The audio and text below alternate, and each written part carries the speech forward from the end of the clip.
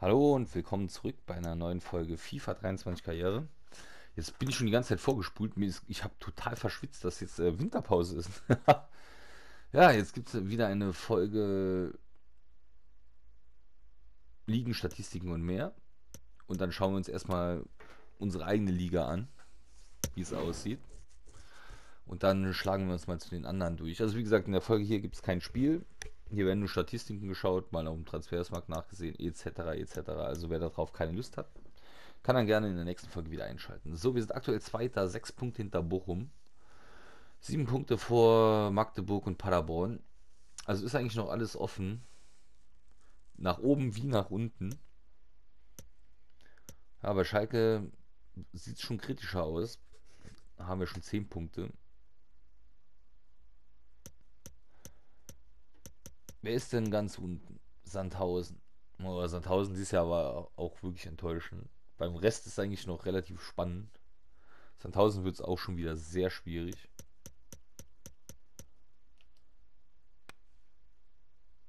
Im Pokal sind wir auch noch vertreten, spielen gegen Mainz, die ja aktuell eine richtig starke Saison spielen, haben am Wochenende gerade gegen die Bayern 3-1 gewonnen.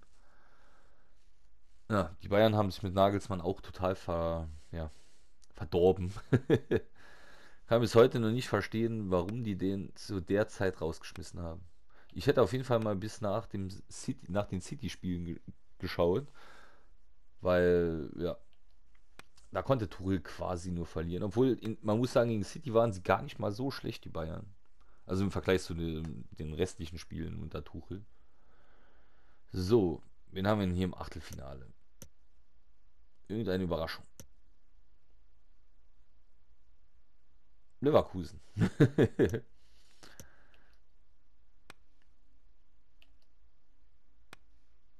Aber da wird es erst spannend, wenn man ins Halbfinale schauen kann. Das war's schon. Okay. Ja, jetzt müssen wir wieder immer so komisch schauen, weil hier ist ja irgendwie immer alles anders da. Hm, Jugendakademie. Dann schauen wir mal in die Jugendakademie. Wen können wir hochholen? Wen holen wir denn hoch? Haben irgendeinen 18-Jährigen, da haben wir ihn doch. Ist, wenn ich Bombe Costa zum Profi befördern. Den können wir nämlich ausleihen. Und den da holen wir mal noch hoch. Zum Profi befördern. So, dann schauen wir mal nämlich gerade nach den zwei. Die landen da nämlich gerade mal auf der Transfersliste. Habe ich natürlich mir die Position nicht gemerkt, was. Ah, da, da ist ja schon mal Nummer 1.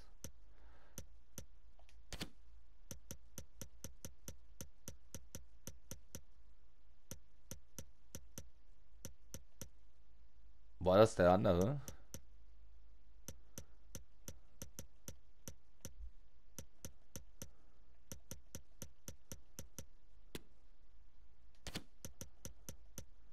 Was ist eigentlich mit ihm? Alles ausgeliehen, okay. Ja, dann setzen wir ihn auch noch auf die Leihliste. So, dann haben wir das auch schon mal geschafft. Jetzt die Frage, wo in Gottes Namen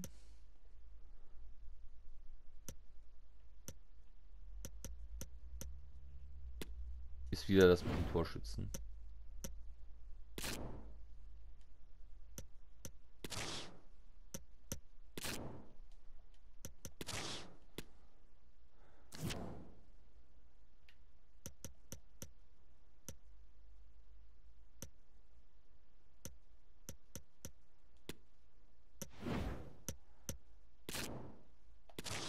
So, dann wollen wir mal wieder ein neues Netzwerk auf. Wo gehen wir denn diesmal hin? Gehen wir mal nach Nordeuropa. Hä? Bisschen nach Schweden. Uh, das hört sich doch schon mal gar nicht schlecht an. Schweden. Äh, Spielerstatistik. Da sind wir doch. Ich hab's gefunden. Wer hätte es gedacht? Aktuell ist erster bei den Torschützen Artig von Magdeburg, Trimic zweiter, Da haben wir noch Back drin. Aber ansonsten sind wir nicht so, Tresol die ist auch noch drin mit 5. Ansonsten sind wir nicht gerade, sind wir gar nicht mal so gut hier aufgestellt.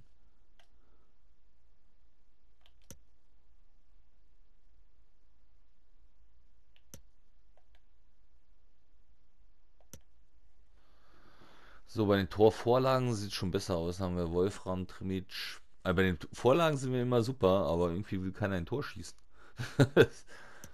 Irgendwas machen wir da falsch. Ne?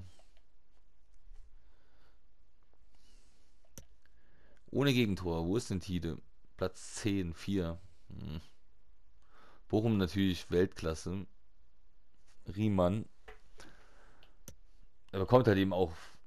Oh, im DFB-Pokal ist Riemann auch ganz vorne.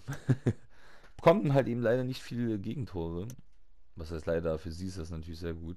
Gelbe Karten haben wir Korbos drin mit zwei. Aber die sind hier auch in der Hinrunde sehr dünn besiedelt, eigentlich, die Karten. Ne?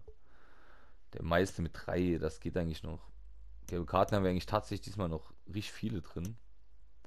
Rote Karten haben wir nur Stellwagen.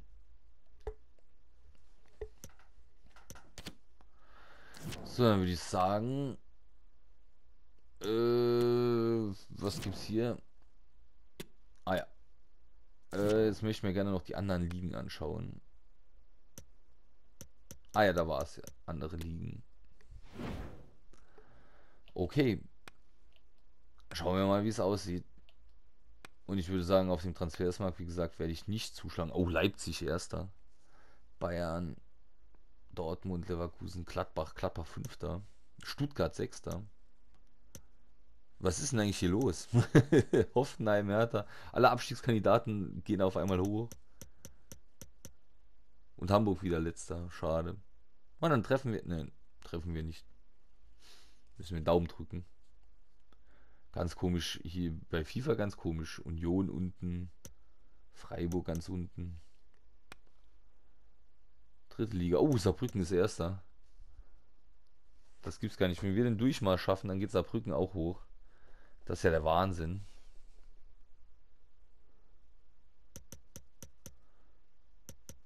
Wo sind denn die Elversberger? 19. Hm. Aber Saarbrücken ist echt schon krass. Hätte ich nicht gedacht. Fünf Punkte schon Vorsprung. Oh, hier Chelsea erster. Arsenal nur Zehnter. Ist immer wieder cool zu sehen, wie es eigentlich hier so bei FIFA abläuft und dann in echt.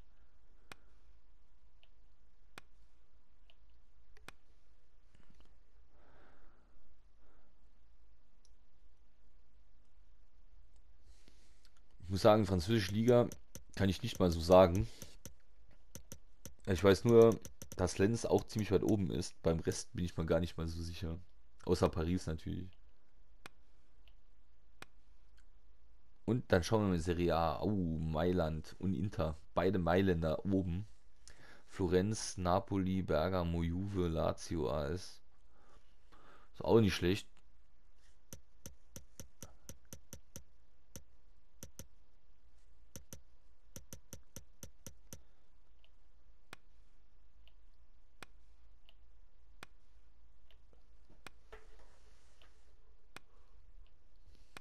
Fehlt jetzt wieder mal nur.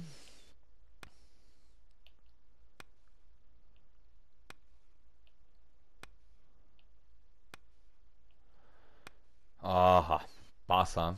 Wie nicht, erster. Aber nicht haben sie noch wesentlich mehr Punkte Vorsprung. Wer da krass am runterfahren ist, ist, äh, wie, ähm, wie heißen sie? Sevilla. Wobei sie sich mittlerweile wieder gefangen haben. Die waren am Anfang der Saison waren die eine Katastrophe.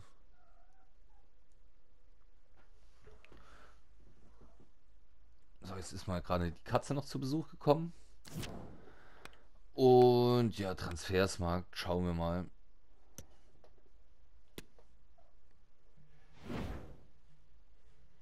Ah, die sind alle. Ah, nach den Finanzen wollte ich mal schauen. Stimmt.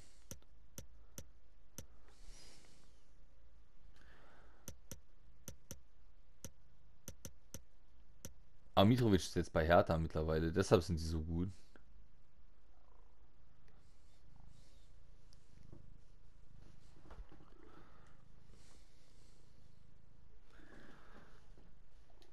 Das erklärt einiges.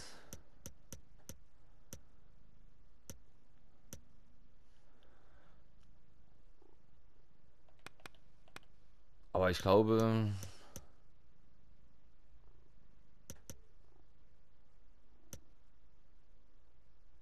Aber sonst keiner auf der Leihliste. Ja, die Katze will schmusen. Okay.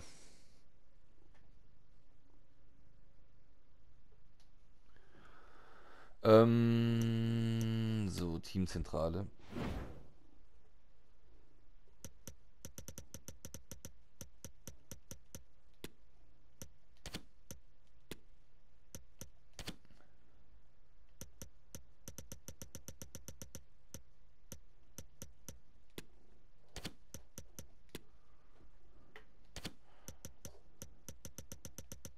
Wen hatten wir denn eigentlich nochmal als freien Spieler geholt?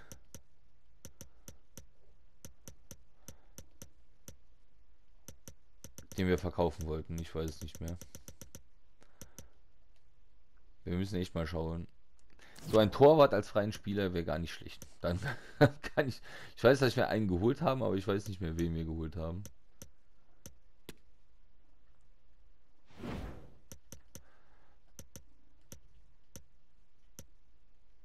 Freie Spieler, Alter, egal, Position, Torwart. Da haben wir es doch.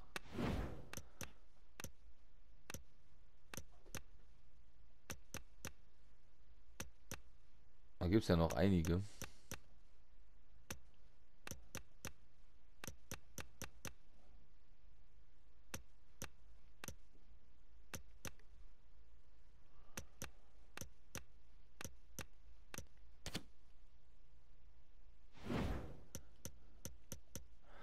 Aber was soll's. Wir schauen jetzt gerade mal noch generell bei freien Spielern im Allgemeinen. Vielleicht ist ja noch irgendwas Gutes dabei, aber das sind meistens nur so Jugendspieler.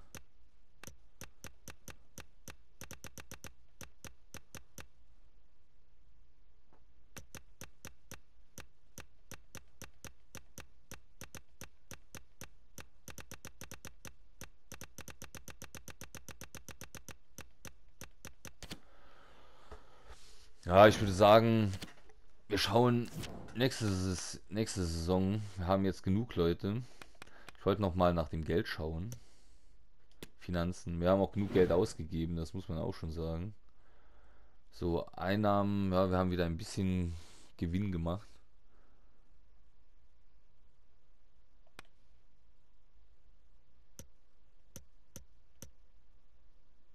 Oh, Trimic, Back und Italiano.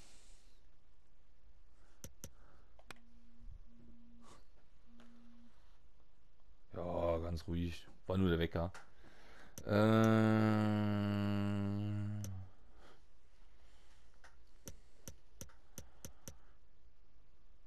ah, 251.000 ist jetzt nicht gerade das beste Budget, aber es ist Budget. Na, die Preisgelder machen auch schon viel aus, ne? Eine Million fast bis jetzt.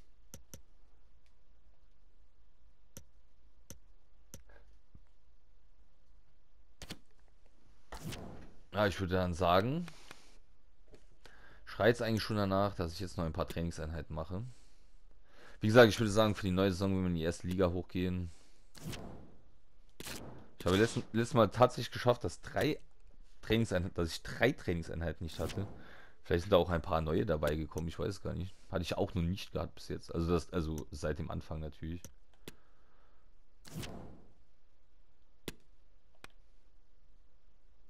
So.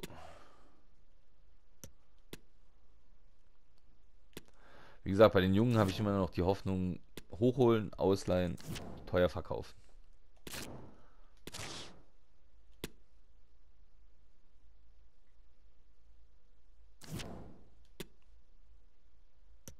Aber seit die Statistik hier weggefallen ist, macht es auch nicht mehr so viel Spaß wie vorher. Muss man leider sagen. Da ist der Spaß ein bisschen weg. Nein, wie gesagt, für die erste Liga muss ich echt mal schauen, wen wir da holen, falls wir aufsteigen.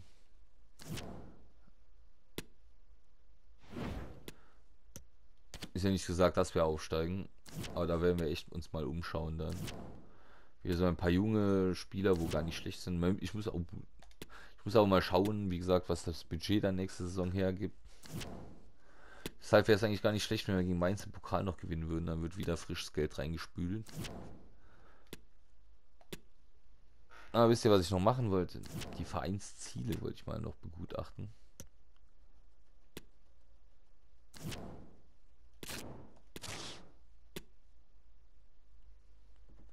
Das kann natürlich nicht schaden. Äh, wo haben wir sie denn?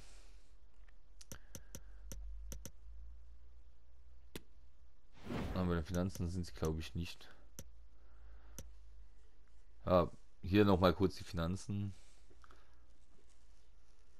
Eintrittskarten und Merchandise machen schon viel aus. Ausgaben. Nachwuchszentren haben wir 512.000 schon ausgegeben.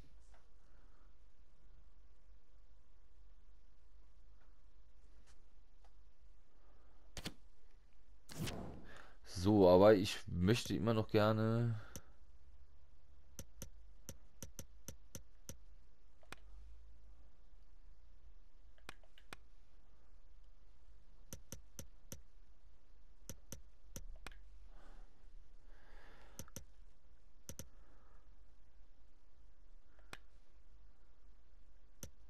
Ah, hier haben wir sie ganz vorne.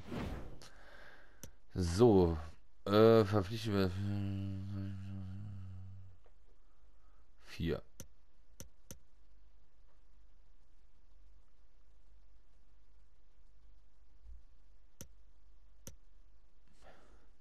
Also mit DFB-Pokal haben wir geschafft. Mit der zweiten Liga den Abstieg vermeiden haben wir, denke ich mal, auch geschafft.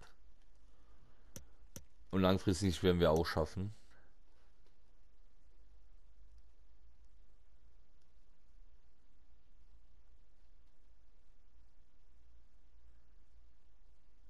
Sind auch so Sachen. Verkaufe zwei Spieler und verpflichte eine, einen wichtigen Spieler als Ersatz. Beende die Saison mit vollständig ausgegebenem Transfersbudget. Warum? Ich glaube, in der letzten Saison war es noch, wo sie groß rumgejammert haben. Oh, wir müssen Geld sparen hier und da. Naja, was soll's. Jetzt geht's gegen Düsseldorf.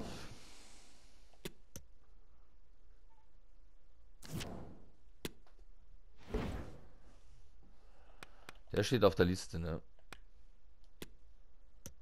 Ablehnen.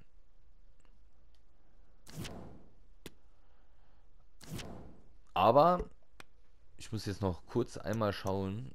Jugendakademie. So, vielleicht noch einen hochholen.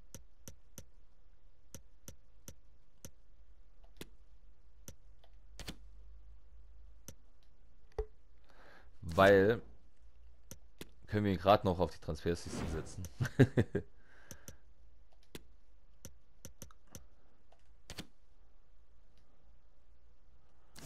Aber was ich gerade auch noch schauen wollte, ist, Verträge habe ich glaube ich alle verlängert, ne?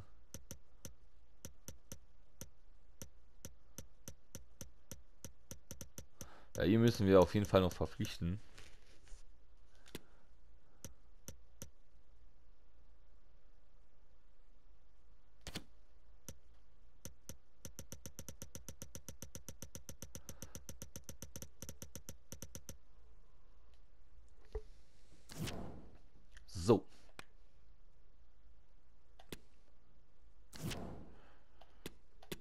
Ja, bei manchen Trainingseinheiten bin ich noch nicht so, so gut, wie ich sein will.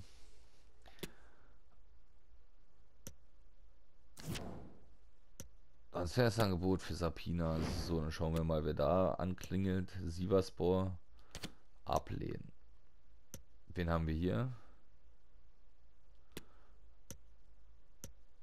Ablehnen. Ich leihe nur so aus.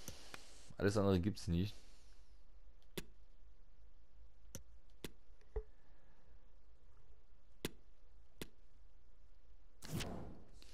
Kaufoption ist nämlich blöd.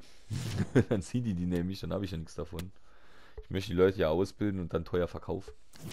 Ich weiß, ich bin ein Fuchs. So, jetzt geht es auf jeden Fall gegen Düsseldorf und dann, oh, englische Woche. Was da los?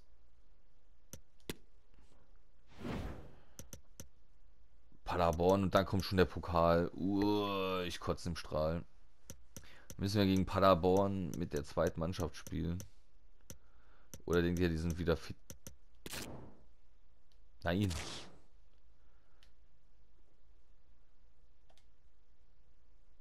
Äh, wie mache ich das?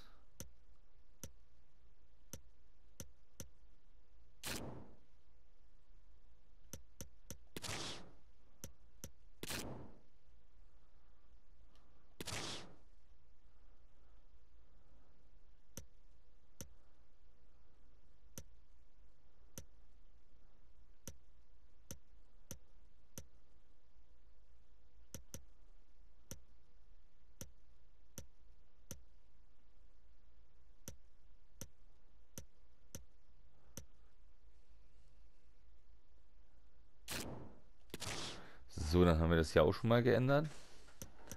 Ja, wir müssen uns da erholen. So. Ja, dann würde ich sagen, geht es direkt schon mit der strammen englischen Woche weiter. In der nächsten Folge. Äh, wen haben wir noch hier? Wer will noch mal? Wer hat noch nicht? Esposito, das merken wir uns in der nächsten Folge. Und Pululu mochte auch noch mal spielen. Die sind auch gar nicht mal so schlecht, Düsseldorf. Die sind 10 Punkte hinter uns. Wie gesagt, wenn wir da verlieren. Und Paderborn ist Dritter. Uh, es wird jetzt. Die Woche hier hat es auf jeden Fall in sich. Aber ich bin auf jeden Fall gespannt. Danke fürs Zuschauen und bis zum nächsten Mal. Ciao, ciao.